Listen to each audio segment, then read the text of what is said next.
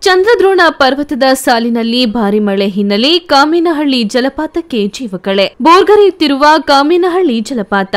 ಚಿಕ್ಕಮಗಳೂರು ತಾಲೂಕಿನ ಮಲ್ಲೇನಹಳ್ಳಿ ಬಳಿ ಇರುವ ಕಾಮೇನಹಳ್ಳಿ ಫಾಲ್ಸ್. ಅಪಾಯದ ಮಟ್ಟ ಮೀರಿ ಆರ್ಭಟಿಸುತ್ತಿರುವ ಕಾಮೇನಹಳ್ಳಿ ಫಾಲ್ಸ್. ಕಾಮೇನಹಳ್ಳಿ ಫಾಲ್ಸ್ಗೆ ಪ್ರವಾಸಿಗರು ಸ್ಥಳೀಯರಿಗೆ ನಿರ್ಬಂಧ. ನಿರ್ಬಂಧ ಹೇರಲು ಮಲ್ಲೇನಹಳ್ಳಿ ಗ್ರಾಮ ಪಂಚಾಯಿತಿಯಿಂದ ಆದೇಶ. ಪ್ರವಾಸಿಗರ ಹುಚ್ಚಾಟಕ್ಕೆ ಬ್ರೇಕ್ ಹಾಕಿದ ಗ್ರಾಮ ಪಂಚಾಯಿತಿ. Whoa.